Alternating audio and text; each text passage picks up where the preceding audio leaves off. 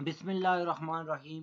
Dear student मैं हूँ शराफत अफजल और आज हम जिस टॉपिक के ऊपर डिस्कशन करेंगे, वो है measuring the national income and cost of living इससे प्रीवियसली हम यूनिट नंबर वन का प्रोग्राम कर चुके हैं, जिसमें मैंने आपको बताया था कि इनकम क्या होती है जीडीपी क्या होती है जीएनपी क्या होती है और फिर उसके ऊपर मैंने आपको बताया था कि जीडीपी को मेयर करने के कितने मेथड हैं। यानी इनकम मेथड है, एक्सपेंडिचर मेथड है, प्रोडक्ट मेथड है, उसको हमने डीपली डिस्कस किया था। आज जो हम टॉपिक कवर करने जा रहे हैं, यूनिट नंबर टू है, इसके प्रोग्राम नंबर टू में हम देखेंगे कि ये ये टॉपिक हैं कि circular flow of national income, real GDP और प्राइस इंडेक्स क्या है, जीडीपी एंड इकोनॉमिक वेलबींग और कंज्यूमर प्राइस इंडेक्स। ये चार टॉपिक हैं जिनको हम कवर करेंगे और आपको बताएँगे कि इसमें क्या क्या सर्कुलर फ्लो क्या है या रियल जीडीपी क्या है। तो आइए हम लेक्चर स्टार्ट करते हैं। सबसे पहले हम देखते हैं कि circular flow of national income तो इसको डिफाइन ऐसे किया गया है कि circular flow of income has the flow of payment from domestic household to domestic firms and back again यानी इसका मतलब क्या है डियर स्टूडेंट कि इनकम का वो फ्लो कि एक डोमेस्टिक जो हाउस होल्ड है, एक घर है, उससे एक फर्म तक और फर्म से वापस जो है ना इनकम का फ्लो जो हाउस होल्ड तक आता है, उसको हम सर्कुलर फ्लो कहते हैं। इस, ये जो थ्योरी है ना national income and expenditure flow in circular manner in any economy both commodities and factors of production are constantly view being executed for the money इसका मतलब क्या है? डियर स्टूडेंट अगर आप आसानी से समझना चाहें तो जिस तरह हमारे जिसम में बॉडी है तो बॉडी के अंदर हमारा हार्ट जो है, वो क्या करता है कि वो जब हार्ट बीट हमारी चलती है तो उसकी वजह से हमारा ब्लड जो है, वो फ्लो हो के हमारे जिसम के आखिरी हिस्से तक जाता है और वहाँ से सर्कल करके वापस हमारे हार्ट में और ये प्रोसेस चलता रहता है।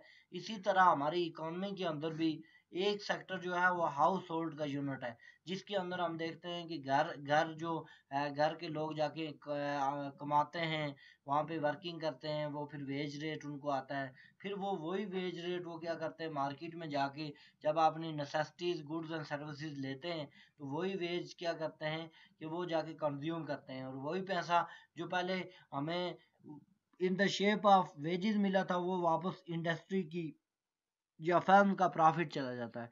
तो वो फ्लो जो हाउस होल्ड से फर्म और फर्म से वापस हाउस होल्ड में आता है, उसको हम कहते हैं circular flow of national income अब देखते हैं कि circular flow of national income के अंदर हमारे पास दो तरह की हम इकोनॉमी को डिवाइड करते हैं टू सेक्टर्स में। यानी टू सेक्टर इकोनॉमी और थ्री सेक्टर यानी हमारे पास इकोनॉमी को सिंप्लीफाई करने के लिए हमने उसको डिस्टिंग्विश किया है कि इकोनॉमी टू सेक्टर भी हो सकती है और थ्री सेक्टर भी हो सकती है। अब हम अगर टू सेक्टर इकोनॉमी की बात करें तो ये इकोनॉमी कंसिस्ट करती है दो सेक्टर पे।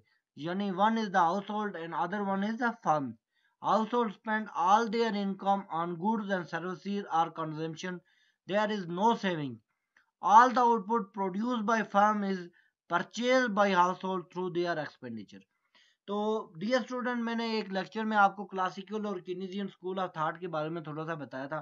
क्लासिकल का ये भी पॉइंट ऑफ़ व्यू है कि आपकी जो जितनी भी इनकम है, उसको पूरा पूरा कंज्यूम कर लें। सेविंग का कोई फैक्टर नहीं है। कैनेजियन क्या कहते हैं कि सेविंग है? तो यहाँ पे अगर टू सेक्टर इकोनॉमी की बात करें तो हमें वहाँ पे क्लासिकल याद आ जाते हैं। क्योंकि वो क्लासिकल कहते हैं कि देखें, एक हाउस होल्ड है, जिसको मैंने ग्रीन यानी बॉक्स में शो किया हुआ है। और फैम को मैंने रेड बॉक्स में शो किया हुआ है। अब देखें होता क्या है कि सबसे पहले इनकम आती है फैक्टर डॉलर टू फैक्टर यानी फैक्टर इनकम आती है। हाउस होल्ड ये देखें, एक जो बिलो द लाइन नीचे आप देखें, जो अपवर्ड लाइन हमारे पास आउटर लाइन है, वो हाउस होल्ड से निकल के जा रही है, सीधी फार्म के पास। तो इसका मतलब ये है कि हाउस होल्ड फैम को सर्विसेज़ प्रोवाइड कर रहे हैं।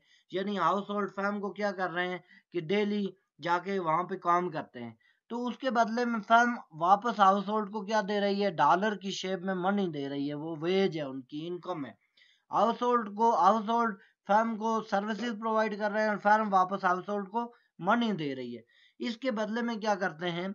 हाउस फर्म जो है वो गुड्स एंड सर्विसेज़ प्रोड्यूस करती है। तो गुड्स एंड सर्विसेज़ किसके लिए प्रोड्यूस करती है? हाउस होल्ड के लिए। और हाउस होल्ड क्या करते हैं? वही जो उनको मनी मिली होती है, उसको वापस खर्च कर देते हैं और वो गुड एंड सर्विसेज़ खरीद लेते हैं।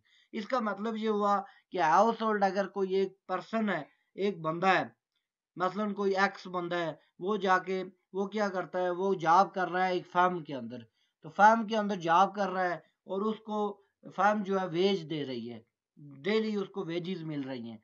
जब वेजेस मिलेंगी तो अब क्या करेगा कि वही जो बंदा जो वेज लेके आया है, उसी फार्म की या उससे अदर फार्म की जो प्रोडक्ट है, वो खरीदेगा, जो गुड्स एंड सर्विसेज़ खरीदेगा तो वही जो पैसे उसने फर्म से लिए हैं, वे in the shape of wage वो वापस फर्म को प्रोवाइड इसको कहते हैं dear student two sector economy मुझे उम्मीद है कि आपको इसका इसका अच्छी तरह से समझ आ गई होगी। अब हम चलते हैं थ्री सेक्टर इकोनॉमी में। अब थ्री सेक्टर इकोनॉमी में क्या है? There are the three sector model in economics divide economics into three sector of activities अब इसमें क्या होता है? There are three sector of economy मैंने आपको पहले भी बताया लास्ट लेक्चर में कि एक प्राइमरी सेक्टर है जिसको एग्रीकल्चर कहते हैं इंडस्ट्रियल सेक्टर है मैन्युफैक्चरिंग और सर्विसेज़ सेक्टर जिसमें सर्विसेज़ प्रोवाइड की जाती है। तो अब इसमें क्या हुआ? कि इसके अंदर एक हाउस होल्ड भी आ गया बिज़नेस फार्म भी आ गई और तीसरा गवर्नमेंट गवर्नमेंट की इंटरवेंशन भी आ गई। तो अब क्या हुआ कि हाउस होल्ड जो है, सबसे पहले जाके जब जॉब सर्विसेज़ प्रोवाइड करता है तो उसके बदले में हाउस होल्ड को इनकम मिलती है in the shape of wages ये देखें, नीचे वाली आउटर मोस्ट जो लेयर है, वो बता रही है कि हाउस होल्ड जाके वहाँ पे काम कर रहा है और उससे गुड्स एंड सर्विसेज़ प्रोड्यूस हो रही हैं। उसको, उसके बाद देखें, उसको प्रॉफिट से वेज मिल रही है। अब वेज से हाउस होल्ड सेविंग भी कर रहा है और उस वेज और जो सैलरीज है, उससे क्या कर रहा है जी? गुड्स एंड सर्विसेज़ भी परचेज कर रहा है।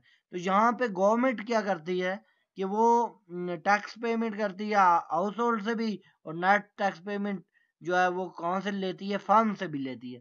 तो अब गवर्नमेंट जो है, वो भी इसमें इन्वॉल्व है, और गवर्नमेंट डायरेक्टली भी परचेज करती है गुड्स एंड सर्विसेज़ फर्म से, और हाउस होल्ड भी परचेज करते हैं। तो यहाँ पे तीन सेक्टर हैं, एक हाउस होल्ड है, एक गवर्नमेंट है और एक बिज़नेस फर्म है। ये तीनों मिलके जो इनका एक अमेलगेशन बनता है देखिए फिर हाउस होल्ड क्या करता है सेविंग करता है जो तो वो सेविंग आगे financial market like banking sector को देता है। बैंकिंग सेक्टर आगे लोन प्रोवाइड करती है बिज़नेस फर्म को और वहाँ पे इन्वेस्टमेंट होती है। तो ये देखें एक थ्री सेक्टर के अंदर क्या आ रहा है कि तीनों, इसमें हाउस होल्ड बिज़नेस फर्म और गवर्नमेंट तीनों मिलके जब एक इकोनॉमी रन करते हैं सर्कल में चलती है तो उसको हम थ्री सेक्टर इकोनॉमी कहते हैं। अब उसके बाद डियर स्टूडेंट हम चेक करते हैं कॉन्सेप्ट रियल और नॉमिनल का क्या डिफरेंस है। तो real GDP is the value output in constant dollar sold by base year so that any change in GDP is due to change in production अब देखें रियल जीडीपी क्या होगी। ये देखें प्राइस हमारे पास है 2018 की, और क्वांटिटी भी हमारे पास 2018 की है। अब देखें रियल का मतलब ये होता है कि हमारी क्वांटिटी में चेंज आए और प्राइस में चेंज ना आए। अब देखें प्राइस जो है 2018 की हमने रखी है, लेकिन क्वांटिटी 2019 की रखी है। इसका मतलब ये होगा कि अगर हमारे पास प्राइस थी 2018 में टेन रुपीज़ और क्वांटिटी हमारे पास थी टेन तो टोटल मिलके हंड्रेड बनेगा। Ten multiply ten is equal to hundred लेकिन अब अगर प्राइस वही टेन है क्वांटिटी हमने ट्वेंटी प्रोड्यूस कर लिया तो ten multiply by twenty is equal to two तो हमारी रियल जीडीपी जो है, अब टू हंड्रेड बढ़ जाएगी। इसका मतलब ये है कि हमारे प्राइस नहीं इंक्रीज हुआ है बल्कि क्वांटिटी इंक्रीज हुई। है अब नॉमिनल जीडीपी क्या होती है? Nominal GDP is the value of output is given period measured in constant current dollars अब देखिए उसका क्या मतलब हुआ? अगर हमारे पास प्राइस थी 2018 मल्टीप्लाई बाय क्वांटिटी 2018 प्राइस से अगर टेन नहीं थी क्वांटिटी भी टेन नहीं थी तो ten multiply by ten that is equal to hundred अब प्राइस जो है ना, अब यहाँ पे नॉमिनल में प्राइस बढ़ के ट्वेंटी हो गई और क्वांटिटी हम टेन ही प्रोड्यूस कर रहे हैं तो twenty multiply by ten is equal to two two hundred last slide वाला भी टू हंड्रेड था और इसमें भी। डिफरेंस ये है कि यहाँ, वहाँ पे, यहाँ पे प्राइस की वजह से हुआ है वहाँ पे क्वांटिटी की वजह से। यहाँ प्राइस चेंज हुई है टेन से ट्वेंटी हो गई है, वहाँ पे क्वांटिटी चेंज हुई थी, इसकी वजह से चेंज हुआ है। अब देखें dear student what is meant by inflation एक नया टॉपिक है इन्फ्लेशन का क्या मतलब है? Inflation basically rise in price यानी हमारे पास जो गुड्स एंड सर्विसेज़ की परसिस्टेंट या sustain increase in general price level of economy goods and services increase इसको हम कास्ट ऑफ़ लिविंग भी कहते हैं। कि हमारे रहने की वजह से जो कास्ट बढ़ रही है, जो हम डेली गुड्स एंड सर्विसेज़ की कंज्यूम कंजम्पशन करते हैं, उसको हम कहते हैं इन्फ्लेशन अब इन्फ्लेशन को मैयर करने के लिए हमारे पास चार इंडेक्स हैं, जिन इंडिसेस को हम यूज़ करके इन्फ्लेशन को मैयर कर सकते हैं। One is the producer price index which is mean by the PPI the second one is the consumer price index, this is called the cpi and the third is the sensitive price index, and last one is the whole price index. तो dear student यहाँ पे सबसे पहले first and foremost जो mostly use होने वाला index है वो सी पी आई है कंज्यूमर प्राइस इंडेक्स इसको देख के क्या किया जाता है कि इकोनॉमी की इन्फ्लेशन को मॉनिटर या मेजर किया जाता है। CPI क्या चीज़ है? The consumer price index is measured that examine the weight average of price of baskets of goods and services such as transportation, food and medical care तो जितने भी हम डेली की गुड्स एंड सर्विसेज़ को use करते हैं तो उनका सारों की जो प्राइस है, उनको मिला के ये इंडेक्स बनता है। अब देखें डियर स्टूडेंट कि यहाँ पे जितनी भी जितनी जो प्राइस होती हैं गुड्स एंड ट्रांसपोर्टेशन फ़ूड की प्राइस या मेडिकल केयर होगी, ये सारी सीपीआई में इंक्लूड होती है। तो हमारी जो बास्केट्स ऑफ़ गुड्स है, जिनको हम अपनी ज़िंदगी में या डेली मर्रा यूज़ में यूज़ में यूज़ करते हैं तो वो round of three twenty four goods हैं। इन थ्री ट्वेंटी फोर गुड्स में हमारा बिल वास्ता या बिला वास्ता इनके साथ लिंक रहता है। तो इस, इन सारी गुड्स को इकट्ठा करके इनकी प्राइजेस को मिला के जो इंडेक्स बनता है उसको कहते हैं consumer price index. These goods and services are broken into six major groups. अब देखें कौन कौन से हैं? फ़ूड है एंड ब्रेवेजेस है। सेकंड है हाउसिंग। थर्ड हमारे पास ट्रांसपोर्टेशन है। फोर मेडिकल केयर है। और फिर हमारे पास एजुकेशन है। और अदर गुड्स हैं तो ये सारी गुड्स का जो कॉम्बिनेशन है, इसको मिला के जो हमारे पास हम फाइंड आउट करते हैं, उसको हम कहते हैं C P I consumer price अब सी पी आई का फार्मूला क्या है? Cost of cost price of current year divided by cost price of previous year multiply by 100 अब देखें, यहाँ पे नीचे चार्ट में गिवन है कि देखें 2018 में प्राइस ऑफ़ एप्पल जब था वो 100 थी। अब 2019 में यही प्राइस ऑफ़ एप्पल जो है वो 200 है। तो अब हम क्या करेंगे? प्राइस ऑफ़ करंट ईयर यानी 200 divided by price of previous year divided by 100 multiply by 100 तो टोटल मिला के हमारे पास 200 बनता है तो सीपीआई हमारे पास बेसिकली कितनी है? 200 है। अब सीपीआई के बाद हम देखते हैं कि अनएम्प्लॉयमेंट रेट क्या होता है। तो बेसिकली डियर स्टूडेंट अनएम्प्लॉयमेंट क्या होती है? The unemployment rate is defined as the percentage of unemployment worker in total labour force work at consider unemployment if they are currently, uh, currently do not work despite that fact they are able and willing to do so.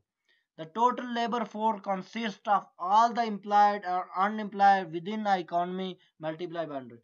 तो इसका मतलब क्या होगा कि हम कहते हैं कि number of the worker consider unemployment वो वर्कर जो अनएम्प्लॉयमेंट होते हैं अनएम्प्लॉयमेंट होते हैं, उनको हम इस तरह कहते हैं कि वो वर्कर जो अनएम्प्लॉयमेंट अनएम्प्लॉयड हैं, उनकी एज लिमिट पंद्रह फिफ्टीन ईयर से लेके फिफ्टी फोर ईयर तक इसके दरमियान में जितने भी लोग हैं, जो अडल्ट हैं, जो वर्किंग कर सकते हैं, उनके पास जॉब नहीं है, उन, वो और divided by total labour force इस दौरान जितने भी पंद्रह से लेके फिफ्टी फोर ईयर तक जितने भी लेबर हैं, उनको डिवाइड करेंगे और इनके फिफ्टीन से लेके फिफ्टी फोर तक ईयर तक जितने भी लोग अनएम्प्लॉयड हैं, जिनको रोज़गार नहीं मिला है, उनको divided by total labour force जो इन फिफ्टीन ईयर से लेके फिफ्टी फोर ईयर तक जो लेबर फोर्स है, जो काम कर सकती है, उसको टोटल को मल्टीप्लाई बाय हंड्रेड करेंगे तो ये हमारे पास अनएम्प्लॉयड रेट निकलेगा। तो इंक्लूड एम्प्लॉयड एंड अनएम्प्लॉयड ये लेबर फोर्स जो टोटल लेबर फोर्स है, उसमें इंक्लूड क्या है एम्प्लॉयड भी है और अनएम्प्लॉयमेंट और नंबर ऑफ़ अनएम्प्लॉयड पर्सन जिनके पास जॉब नहीं है, उसको डिवाइड करेंगे तो हमारे पास अनएम्प्लॉयमेंट रेट आ जाएगा। तो ये लिखा भी हुआ है U E M P unemployed unemployed labour divided by labour force multiply by hundred अगर हमारे पास अनएम्प्लॉयड लेबर जो है वो थ्री पॉइंट सिक्स टू है total labour force six point sixty point four है तो ये हमारे पास अनएम्प्लॉयमेंट रेट आ जाएगा multiply by hundred five point nine तो thank you very much dear student आज हमने जिस, जिन जिन टॉपिक्स को कवर किया है, उनमें मैंने आपको बताया कि टू सेक्टर इकोनॉमी क्या है थ्री सेक्टर इकोनॉमी क्या है, फिर हमने इन्फ्लेशन के बारे में पढ़ा। इन्फ्लेशन क्या क्या चीज़ होती है? सीपीआई क्या है? उसको मैयर करने का क्या मेथड है? फिर हमने अनएम्प्लॉयमेंट के बारे में पढ़ा कि अनएम्प्लॉयमेंट क्या है और उसको कैसे मैयर करते हैं। उम्मीद है ये वीडियो आपको अच्छी लगेगी, अच्छी लगी होगी और नेक्स्ट इंशाल्लाह इन फ्यूचर में हम इससे नेक्स्ट जो यूनिट है उसको स्टार्ट करेंगे। Best of luck and thank you for seeing my video अल्लाह हाफिज़।